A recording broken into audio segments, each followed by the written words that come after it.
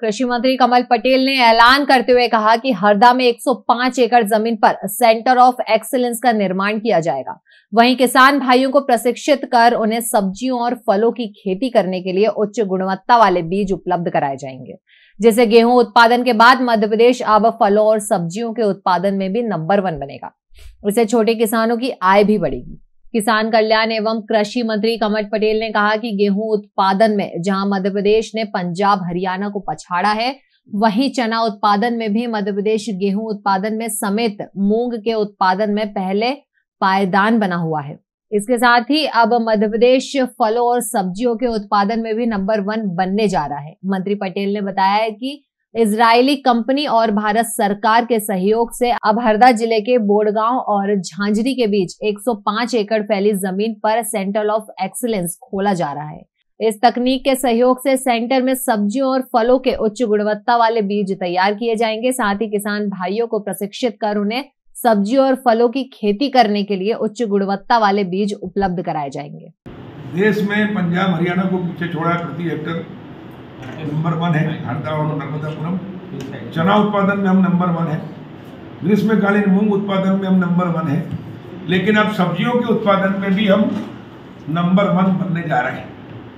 और उसके लिए इजराइल सरकार के सहयोग से मसा उनकी एजेंसी है, जिससे माननीय प्रधानमंत्री नरेंद्र मोदी जी ने एम किया, करार किया है, भारत सरकार ने। वो हमको तकनीक इसराइल देगा।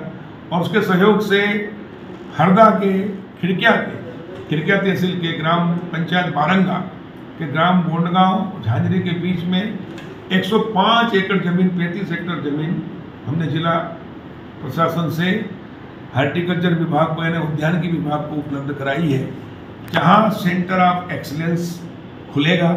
कमल पटेल ने कहा, सब्जियों और फलों का अधिक मात्रा में निर्यात किया जाएगा, जिससे किसानों की आय कई गुना बढ़ेगी। जितना किसान 20 एकड़ में कमाता है, अब वो एक एकड़ में सब्जियों और फलों की खेती कर कमा लेगा। वहीं दूसरी ओर, इससे मध्य प्रदेश के गाँव आत्मनिर्भर होंगे। मंत्री पटेल ने प्रधानमंत्री मोदी, केंद्रीय कृषि मंत्री नरेंद्र सिंह तोमर, मुख्यमंत्री शिवराज सिंह चौहान का धन्यवाद देते हुए कहा कि प्रदेश के किसानों के लिए ऐतिहासिक कदम के साथ हरदा ज़िले के लिए बड़ी उपलब्धि है। इसराइल के सहयोग से सब्ज़ियाँ, फल, उसके बीज तैयार किए जाएँगे।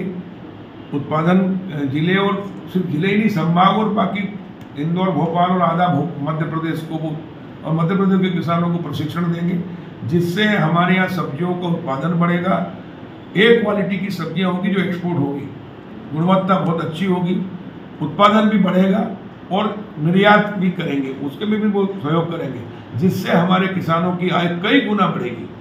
क्योंकि जनसंख्या बढ़ रही है और ज़मीनें कम हो रही हैं तो जितना 20 एकड़ में किसान कमाता है, उतना एक एकड़ में कमा लेगा। और इससे हम मध्य प्रदेश का उत्पादन भी बढ़ेगा और मतगांव आत्मनिर्भर होंगे तो देश आत्मनिर्भर होगा। माननीय प्रधानमंत्री नरेंद्र मोदी जी का संकल्प को माननीय मुख्यमंत्री शिवराज सिंह चौहान जी के आशीर्वाद से और केंद्रीय कृषि मंत्री नरेंद्र सिंह तोमर जी के सहयोग से हम ये सेंटर ऑफ़ एक्सीलेंस हरदा में खोलने जा रहे हैं, जो तीसरा है। और हमारे उद्यान की मंत्री, मेरे छोटे भाई भरत कुशवाहा जी, उनको भी मैं धन्यवाद देता हूँ कि उन्होंने भी इसकी सहमति दे दी क्योंकि 60 परसेंट इस, इस खर्च जो होगा वो भारत सरकार उठाएगी 40 प्रतिशत मध्य प्रदेश मध्य प्रदेश की महिलाओं के आर्थिक सशक्तिकरण के उद्देश्य से संवेदनशील मुख्यमंत्री शिवराज सिंह चौहान द्वारा मुख्यमंत्री लाडली बहना योजना का उपहार सभी पात्र महिलाओं को दिया गया है। इसके तहत उन्हें प्रति माह एक हज़ार रूपए दिए जाएँगे। ये राशि सीधे उनके बैंक खातों में पहुंचाई जाएगी। योजना की प्रक्रिया बेहद सरल और निशुल्क है।